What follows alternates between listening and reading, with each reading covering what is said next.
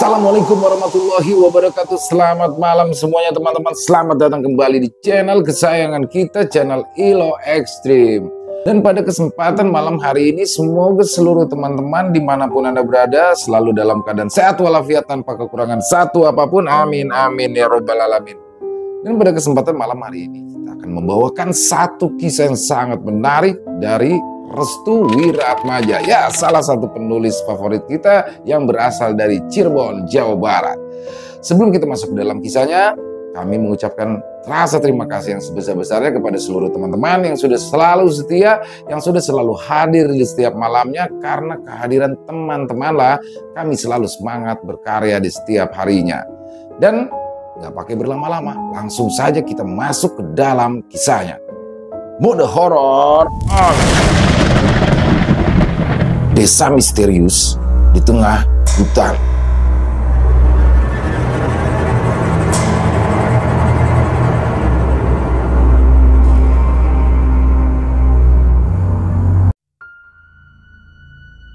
Kepulan asap rokok membuka pagi hari yang cukup mendung itu.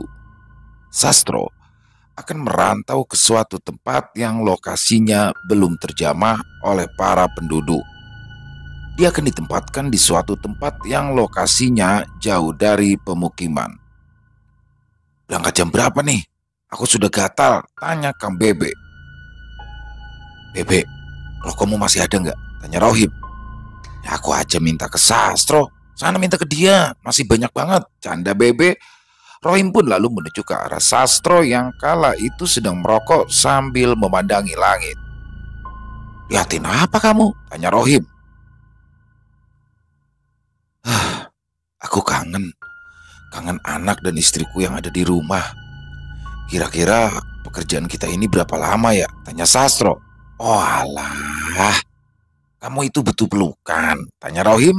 Rohim pun lalu langsung memeluk Sastro, namun Sastro menepisnya sambil berkata, Dih, homo, ternyata kamu suka laki-laki ya? Tanya Sastro sambil mengelak kedua tangan Rohim yang menyentuh badannya. Loh, katanya butuh pelukan. Sastro pun terdiam.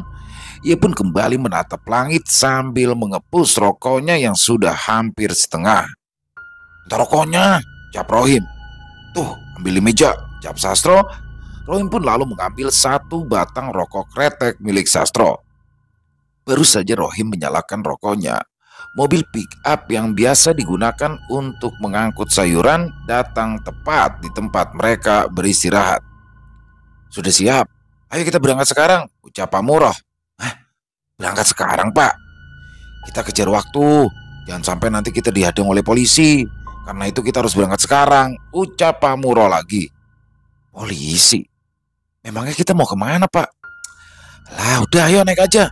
Kalian mau kerjakan? Tanya Pak Murah.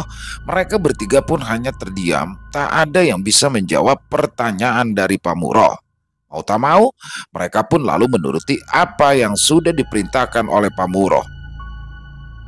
Di belakang itu sengaja saya kasih terpal, supaya kalian tidak kehujanan dan juga untuk mencegah dari para polisi hutan. Ucap Pak Muroh, Sastro merasa ada yang mengganjal dari pekerjaan itu. Mengapa pekerjaannya harus dilewati dari pemeriksaan polisi hutan? Jika dipikir-pikir, Apabila pekerjaan ini memang legal, pastinya tidak ada ketakutan dalam diri Pamuroh hingga harus membuat penutup di belakang mobil untuk menyembunyikan mereka bertiga.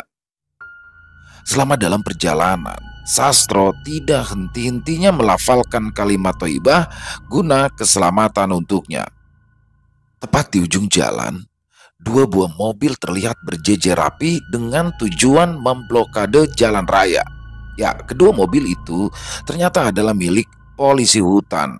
Pamurah yang sudah kepalang melajukan mobilnya pun merasa enggan untuk berhenti dan terus saja mengegas mobilnya. Berhenti, Berhenti! Teriak polisi hutan itu.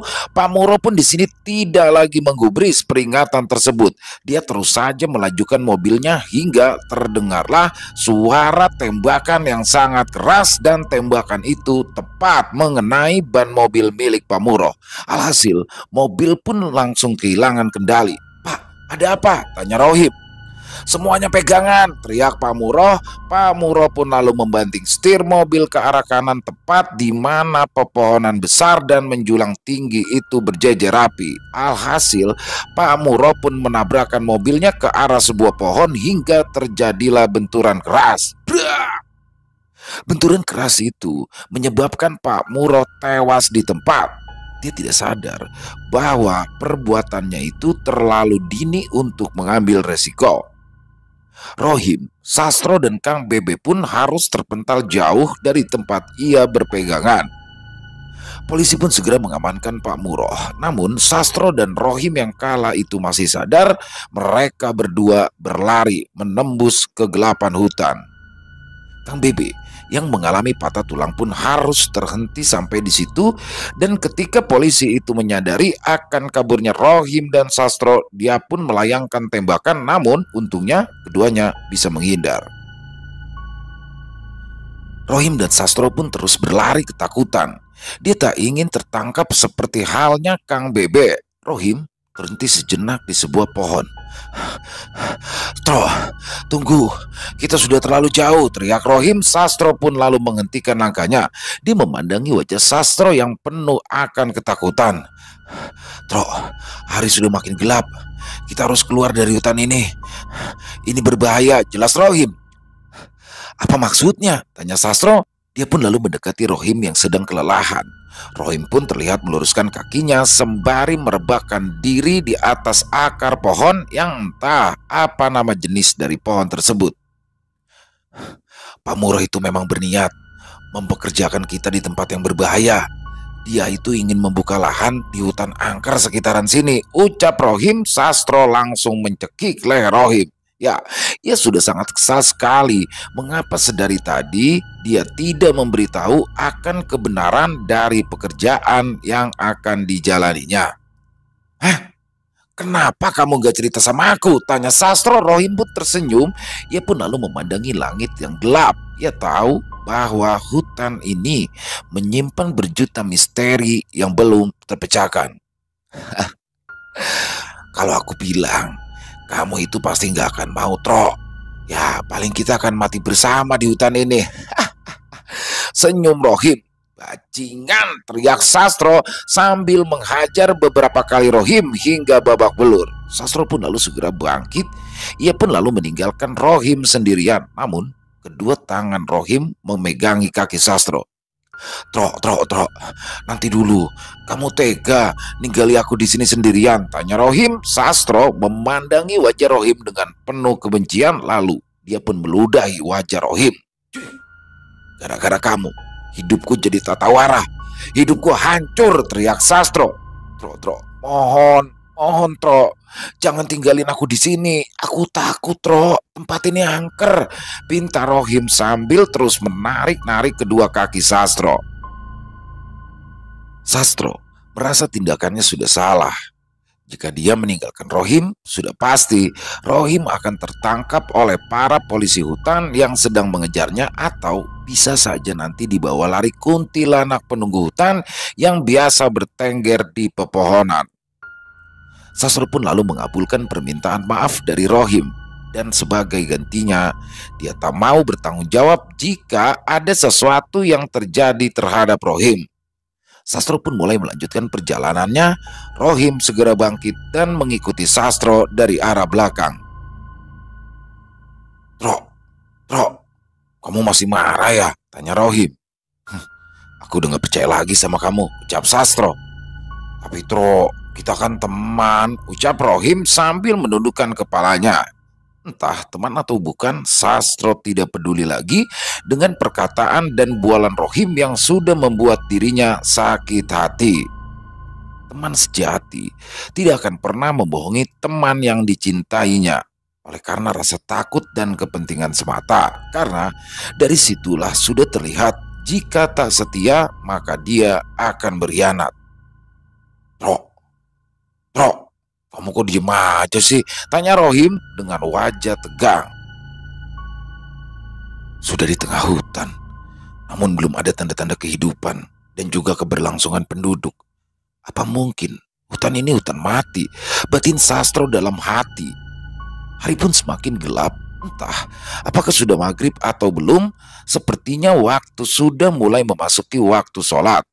Sastro pun lalu beristirahat sejenak untuk sekedar meluruskan kaki dan otot-ototnya yang terasa sudah kaku.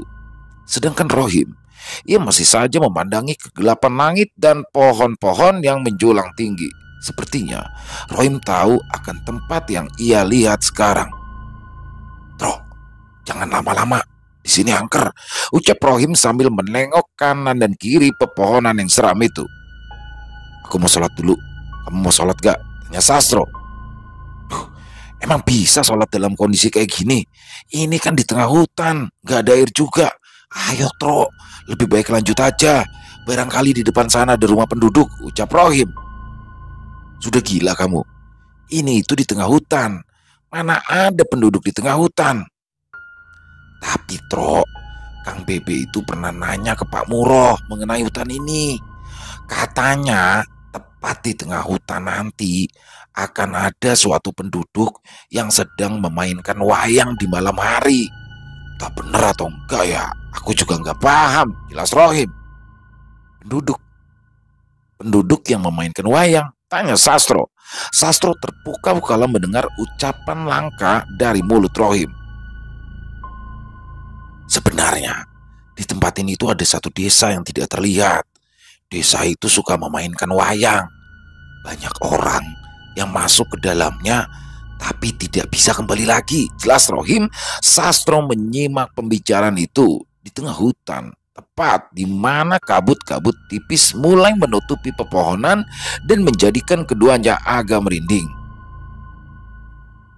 Tujuan Pak Muroh adalah membuat sebuah proyek besar yang dibuka tepat di tengah hutan. Namun tanpa adanya pengusiran, itu semua percuma saja. Pengusiran? Maksudmu? Cap sastro.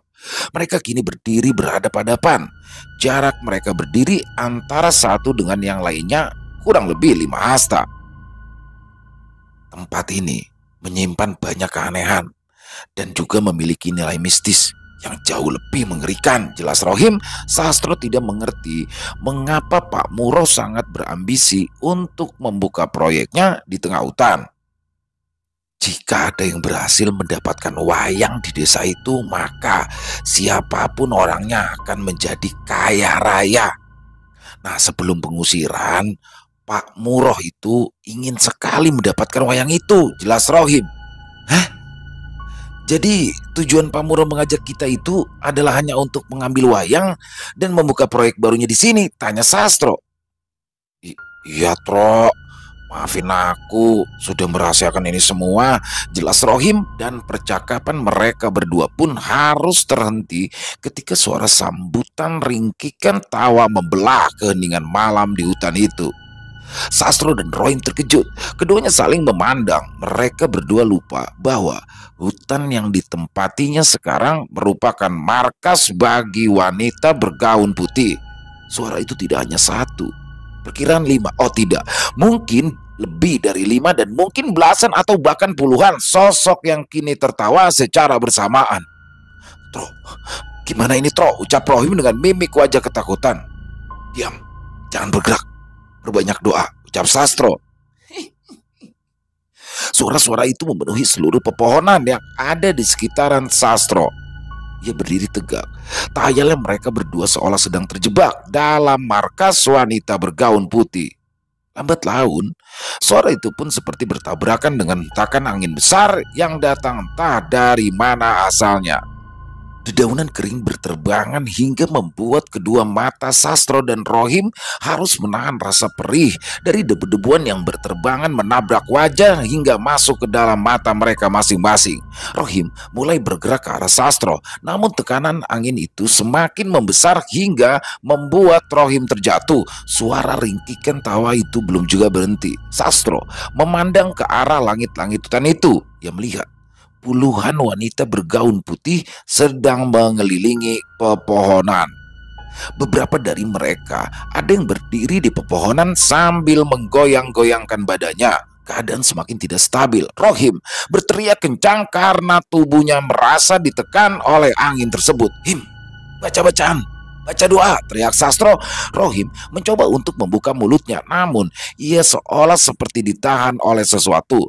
Sastro pun lalu mencoba untuk membantu Rohim, namun angin itu terasa semakin besar hingga kembali menekan tubuh Sastro dengan kuat hingga ia pun terjatuh.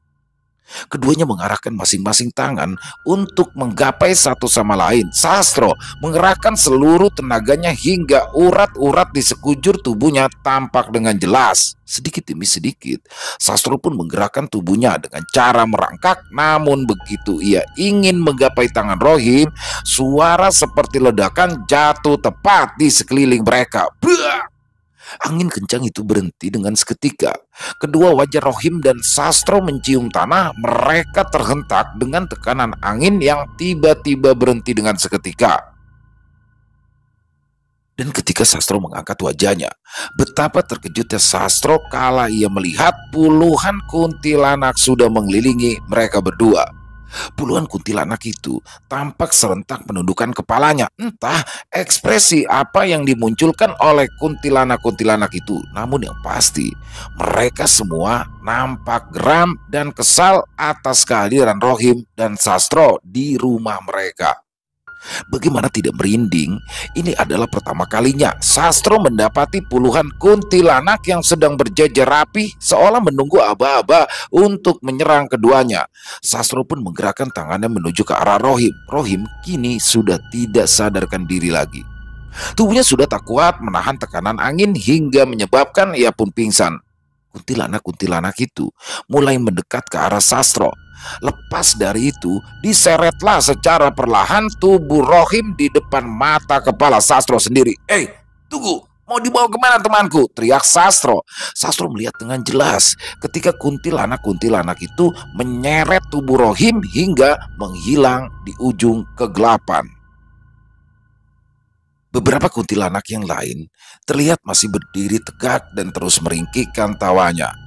Sastro pun segera bangkit, namun ketika ia ingin bangkit, tubuhnya seolah seperti ditahan. Dan benar saja, tepat di belakangnya, ia melihat satu sosok kuntilanak dengan wajah menyeramkan sedang menduduki tubuhnya. Sastro pun tidak bisa berbuat apa-apa, ia hanya terus bisa berdoa dalam hati sambil memejamkan matanya.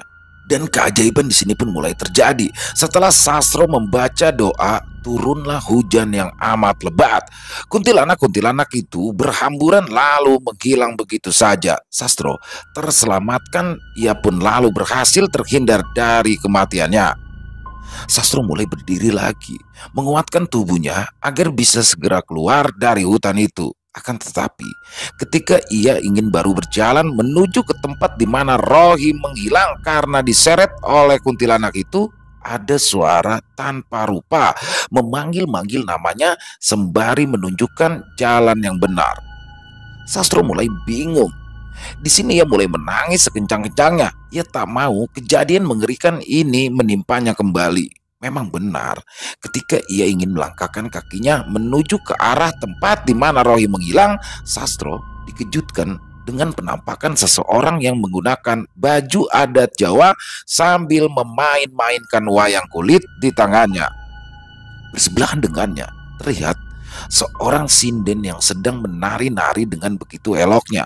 Sastro pun mulai mundur ke belakang. Dia tak mau sosok itu menyeretnya sebagaimana para kuntilanak tadi menyeret tubuh Rohim. Karena kondisi gelap, Sastro tak bisa melihat dengan jelas kedua sosok itu namun terlihat keduanya samar-samar berjalan mendekati Sastro.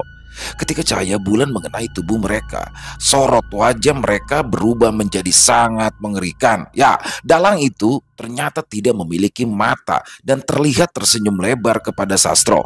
Sama, sama dengan penari sinden itu. Dia juga tidak memiliki mata dan menyeringai kepada Sastro. Sastro pun akhirnya lari dibuatnya. Tak henti-hentinya ia melafazkan kalimat takbir sekencang-kencangnya. Kedua sosok itu pun hanya tertawa melihat tingkah Sastro yang ketakutan dan terus berlari. Tak peduli seberapa curam medan yang ia lewati, suara-suara penghuni hutan semakin menggema, semua menjadi satu seperti menyambut kedatangan Sastro menyambut awal perjalanannya menuju desa Wayang Kulit. Sastro pun tak habis pikir. Semuanya menjadi seolah sangat kacau dan mengerikan. Dia mulai menangis dan berteriak sekencang-kencangnya. Memanggil-manggil nama istri dan juga anaknya. Memanggil nama Tuhan di tengah kegelapan berharap keajaiban akan terjadi. Setelah mampu menjauhi dua sosok yang mengerikan itu, Sastro pun melihat sebuah gubuk yang berada di tengah hutan. Di dalam gubuk itu tampak bercahaya menggunakan cahaya damar. Sastro pun lalu mengatur nafasnya dengan pelan-pelan. Dadanya terasa sesak, kakinya sudah tak sanggup lagi menahan rasa sakit. Perutnya juga tampak kesakitan, seolah seperti diikat tali tambang dan ditekan-tekan dengan kuat. Dia pun meneteskan air mata. Barangkali itu adalah harapan terakhirnya, harapan yang selama ini ia cari. Tak mudah baginya untuk menemukan sebagian penduduk di tengah hutan. Namun, akalnya mulai memberikan sinyal. Mana ada penduduk di tengah hutan? Mana ada warga di tengah kegelapan dan kengerian yang ada berdiri di tengah hutan ini? Tapi tak peduli apa pun nalar kosongnya itu, rasa sakit dan pasrahnya lah yang membawa Sastro berani memasuki gubuk tersebut.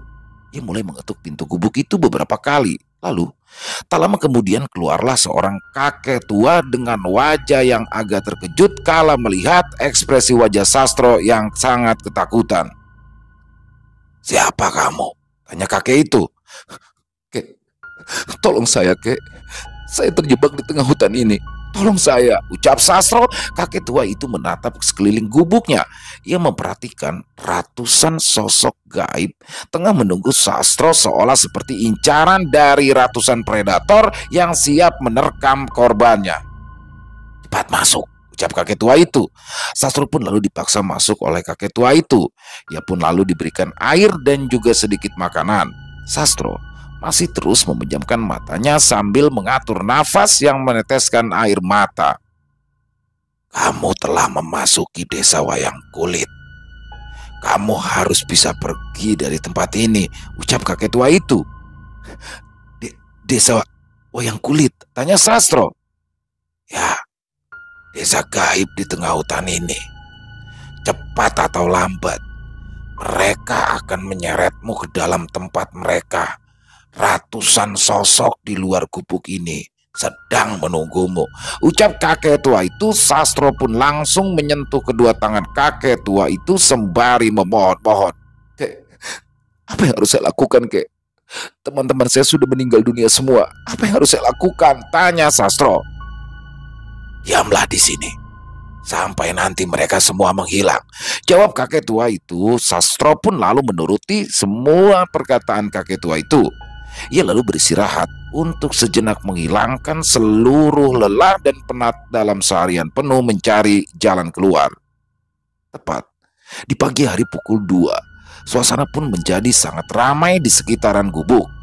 Sastro pun perlahan mendengar suara langkah kaki, sahut-sahutan panggilan nama, suara gamelan, suara sinden yang menyanyikan lagu khas Jawa kunonya. Ia pun lalu terbangun dan terkejut ketika semuanya adalah nyata. Sastro pun kemudian keluar dari gubuknya dan betapa terkejutnya Sastro kala ia mendapati pagelaran wayang kulit di dekat gubuk kakek tua itu. Dan yang lebih aneh, dia seakan bukan berada di tengah hutan, melainkan sedang berada di tengah-tengah pedesaan. Tak ada pepohonan, tak ada suara riuh sautan alam yang tadinya ia dengar. Sastro pun lalu keluar sambil berkata, Inikah yang disebut dengan desa wayang kulit? Tanya Sastro. Dia pun semakin terkejut ketika ada beberapa orang yang mengajaknya untuk segera bergabung untuk melihat pagelaran wayang kulit. Ayo mas, ikut kami, ucap warga itu. Sastro pun kemudian mengikuti langkah orang itu dia mengibaratkan kejadian itu adalah sebagai festival tahunan yang biasa dilakukan oleh desa-desa pada umumnya. Terlihat banyak sekali orang yang berjualan, anak-anak kecil yang berlarian, dan ramai akan penduduk desa. Acara yang dinanti-nantikan pun dimulai. Dalang mulai memainkan perannya untuk memainkan wayang. Bersamaan dengan itu, si Sinden mengiringi lagu khas Jawanya agar terasa nikmat di telinga para penonton yang menghadiri tempat itu. Dalang itu sedang menceritakan tentang sebuah desa yang terhantam oleh bencana karena keserakahan para penduduk terhadap ketetapan yang Tuhan berikan. Desa itu menjadi terbalik, tak terlihat dan raib di telan bumi. Dalang itu menyebutnya sebagai desa yang hilang. Lalu kemudian dia juga menceritakan tentang asal-usul desa itu berdiri tentang wanita-wanita yang menjadi pengganggu hingga disebutlah dalam lelakon sebagai wanita yang kerap tertawa-tawa sambil menggaruk-garuk perutnya. Sastro mengibaratkan mereka itu seperti kuntilanak. Setelah lelakon itu selesai, beberapa warga pun membagikan makanan yang sangat banyak jumlahnya kepada para penonton yang turut hadir menonton pagelaran wayang kulit. Sastro pun segera memakan makanan itu dengan lahapnya. Hampir semuanya dia sikat karena saking laparnya. Para warga yang melihat tingkah Sastro pun hanya tertawa-tawa. Sastro membalasnya dengan senyuman. Namun, betapa terkejutnya dia ketika ia menatap salah satu dari orang yang sudah membagikan makanan. Wajahnya sangat familiar dan mudah sekali untuk ditebak. Ya, itu adalah Rohim Rohim kini menjadi pelayan sebagai orang yang membagi-bagikan makanan kepada tiap penonton yang sudah menonton acara wayang kulit. Dia pun di situ memanggil-manggil nama Rohim. Namun Rohim tidak membalasnya. Akhirnya Sastro pun segera menarik tangan Rohim sambil berkata, "Him, Rohim, ayo pulang," ucap Sastro. Namun Ketika Rohim mulai membalikan badannya, betapa terkejutnya Sastro ketika ia melihat sesuatu yang berbeda dari Rohim. Ya, wajah Rohim berubah menjadi pucat, matanya berlubang, bibir Rohim seolah seperti habis dicakar-cakar oleh sesuatu. Rohim, ucap Sastro. Sastro langsung merinding ketakutan. Seluruh warga yang tadinya tampak antusias dan terjaga kini terdiam dan menundukkan kepala. Mereka semua bersama-sama secara serentak mengarahkan pandangannya ke hadapan Sastro. Ini ini apa? Tanya Sastro sambil meneteskan air mata. Wajah mereka semua berubah total. Wajahnya menjadi pucat, matanya bolong, bibirnya seolah seperti habis dicakar-cakar. Sastro pun beringsut mundur ke belakang dengan tujuan hendak kembali ke dalam gubuk si kakek. Namun, ia pun menabrak sesuatu. Sastro terjatuh. Ia pun lalu menatap ke arah belakang tubuhnya dan melihat dalang beserta sinden yang pernah ia temui di tengah hutan. Sastro pun pingsan sesaat. Ia tidak ingat apa-apa lagi. Tubuhnya sudah tidak tahan lagi menahan pikiran yang sangat berat itu dan keesokan harinya kakek tua itu menemukan sosok Sastro yang sedang tertidur di sebuah pohon besar. Mulut Sastro sudah penuh akan dedaunan kotor dan juga ulat-ulat kecil. Nak, bangun nak. Nak, bangun. Kamu itu habis ngapain? Tanya kakek tua itu. Sastro pun lalu terbangun dan ia mulai menceritakan. Kek, temanku di mana kek? Tanya Sastro. Teman, Teman siapa? Temanku, Rohim kek, Rohim. Rohim. Dari tadi itu tidak ada orang lain di hutan ini selain kamu. Apa yang sebenarnya terjadi? Sastro pun lalu perlahan mengeluarkan sesuatu yang menyumpal mulutnya. Betapa terkejutnya Sastro kala ia melihat banyak sekali ulat dan juga dedaunan kotor yang keluar dari mulutnya. Uh, uh, apa ini kek? Apa yang sebenarnya terjadi? Tanya Sastro. Kamu itu tertidur di luar. Tidak, kayak tidak. Aku tadi aku tadi datang ke acara pagelaran wayang kulit. Tadi di sini ada pagelaran wayang kulit. Aku benar-benar nggak bohong, kek. Teriak Sastro. Sang kakek lalu menghela nafas. Ia pun berkata pelan-pelan terhadap Sastro. Di sini memang ada pagelaran wayang kulit setiap sebulan sekali. Biasanya orang yang datang ke hutan ini tepat di hari pagelaran wayang kulit, maka dia akan hilang. Dia akan dijadikan budak di desa wayang kulit. J jadi, jadi Rohim, Rohim sudah tanya Sastro. Ya, dia sudah mati. Sastro menangis sekencang-kencangnya. Kakek tua itu hanya bisa melihat kesedihan Sastro dengan terdiam. tak ada yang bisa dilakukan oleh kakek itu terhadap Sastro. Kamu itu beruntung bisa selamat. Karena biasanya orang-orang yang sudah masuk ke dalam desa wayang kulit dia itu akan mati dan tak akan pernah kembali. Ucap kakek itu Sastro pun terdiam. Lalu ia pun meminta kepada sang kakek untuk menunjukkan jalan pulang dan kakek itu pun mengabulkan permintaan Sastro. Hari itu juga, kakek tua itu lalu mengantarkan pulang Sastro. Dia pun harus melintasi jalanan setapak yang di setiap pinggirannya adalah jurang. Setengah jam kemudian, Sastro pun berhasil melihat jalanan besar. Tunggulah di sana. Biasanya ada mobil yang lewat nanti. Ingat, Jadikan ini semua sebagai pelajaran berhargamu. Jelas kakek tua itu, Sastro pun hanya mengangguk. Lalu mereka pun harus berpisah di ujung jalan besar. Sastro hanya bisa menunggu kehadiran mobil pengangkut sayuran untuk turun menuju perkotaan.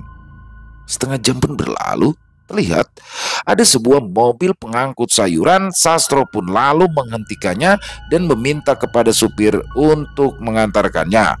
Supir itu pun menerima tumpangan Sastro dan Sastro akhirnya meninggalkan hutan itu dan kembali menuju ke rumahnya sekaligus memberitahu kepada keluarga Rohim jika Rohim telah meninggal dunia. Belum jauh, Sastro meninggalkan hutan itu ia tiba-tiba melihat warga beserta dalang, sinden, dan juga rohim yang terlihat sedang melambai-lambaikan tangan ke arah Sastro. Sastro tidak percaya melihat semua itu. Selama dalam perjalanan, sosok itu masih melambai-lambaikan tangannya sebagai tanda ucapan selamat tinggal. Selesai. Wow, luar biasa. Kisah yang sangat menarik ya, singkat, padat, jelas. Ya, ciri dari Mas Restu keren banget kisahnya Mas Restu dan horornya dapet banget ya. Ada salah satu yang suka sama Mas Restu ini. Jadi langsung masuk ke dalam kisah, langsung tak tak tak tak tak. Tapi horornya dapet dan apa ya tanpa menghilangkan esensi dari drama itu sendiri. Jadi kita kayak seolah-olah benar-benar berada di dalam apa ya, di dalam hutan itu ya, di dalam hutan itu dan desa wayang kulit ini baru pertama saya dengar uh, tentang keberadaan desa misterius di tengah hutan itu dan alhamdulillahnya uh, Mas Sastro ya sebagai tokoh utama di sini akhirnya bisa selamat. Memang di sini tidak dijelaskan ya uh, kok bisa Sastronya selamat tapi rohimnya tidak. Gitu. Jadi jadi di sini dijelaskan apa tidak dijelaskan kenapa uh, Sastro bisa selamat tapi rohim tidak rohimnya uh, dibawa ke alam sana. Tapi di sini saya mencoba sedikit memberikan analisa ya tentang dari kisah barusan. Jadi kalau menurut pribadi saya sendiri, sastro bisa lepas karena dari hati. Jadi makhluk gaib itu ketika mengambil dia dia melihat hatinya. Kalau rohim kan memang dari awalan itu memang sudah niat buruk ya, sudah dia dia sudah mengetahui rencana dari bosnya yang akan begini begini begini dan apalagi katanya bisa mengambil wayangnya akan menjadi orang kaya di situ sudah ada niat busuk ya dari dari Rohim sendiri. Tapi Sastro di sini benar-benar tidak mengetahui apa sih yang akan dilakukan oleh mereka nantinya dia hanya benar-benar butuh pekerjaan dan ikut bekerja tanpa tahu dulu uh, apa yang akan dikerjakannya nanti.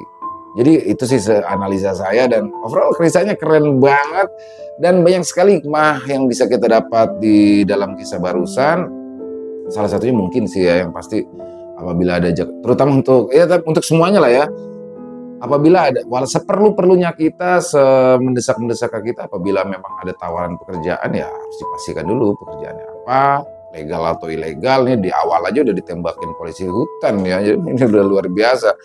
Ya intinya keren banget kisahnya buat Mas Restu tunggu lagi kisah-kisah terbaiknya dan semoga kisah barusan bisa menghibur para teman-teman pecinta penikmat horor lebih khususnya kepada para subscriber daripada channel Ilo Extreme buat mungkin teman-teman yang punya komentar lain ataupun punya pendapat yang lain atau hanya sekedar saling menyapa mungkin silakan. Bisa diketik ditulis di kolom komentar. Insya Allah kami akan membalasnya satu persatu. Dan buat teman-teman yang suka dengan video tadi bisa diklik tombol like nya tombol jempolnya. Dan buat yang belum subscribe yuk diklik tombol merah subscribe nya jangan lupa lonceng notifikasinya dinyalakan agar teman-teman selalu mendapatkan notifikasi dari konten-konten yang akan kami upload selanjutnya. Dan buat teman-teman mungkin yang mau kisahnya dibawakan ya di, di channel kami, silakan boleh ya mengirimkan kisah pribadinya yang diangkat dari kisah nyata yang bertema horor misteri ke nomor telepon yang ada di bawah sini. Bebas dalam bentuk tulisan, dalam bentuk audio, boleh senyamannya teman-teman aja. Dan sekali lagi kami ucapkan terima kasih kepada seluruh teman-teman yang sudah selalu hadir, yang sudah selalu mendukung, mensupport channel kami. Kami ucapkan terima kasih sebesar-besarnya karena kehadiran teman-teman lah kami selalu bersemangat berkarya di setiap harinya. Di akhir kata, saya Ilo mengucapkan permohonan maaf apabila mungkin ada kata-kata saya yang salah ataupun ada kata-kata saya yang mungkin kurang berkenan. Saya mohon dibukakan pintu maaf yang seluas-luasnya. Dan Sampai jumpa lagi di konten-konten kami selanjutnya yang pasti tidak kalah ngerinya, yang pasti tidak kalah seramai masih bersama saya Ilo di channel Ilo Extreme. Salam sehat sukses selalu untuk kita semua. Wassalamualaikum warahmatullahi wabarakatuh.